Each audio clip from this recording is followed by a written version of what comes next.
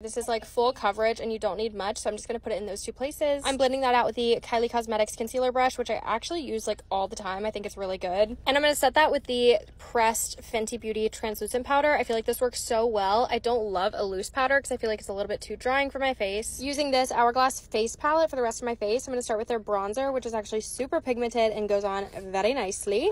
Honestly, this whole palette is amazing. I love the bronzer. The blush is absolutely amazing and I love the color of it lifting these lashes so that they don't look non-existent and applying my Rare Beauty mascara, which I've been using for like three years straight. It is just so good and I love it. It just works so well with my lashes. And finishing with a lip because the lip just makes the whole look. I'm applying my Victoria Beckham Beauty lip liner in the shade 02 and applying this tinted lip treatment by Rhode. Of course, I have like 30 of these and I just carry them around with me everywhere. I have one in like each purse. It's so good.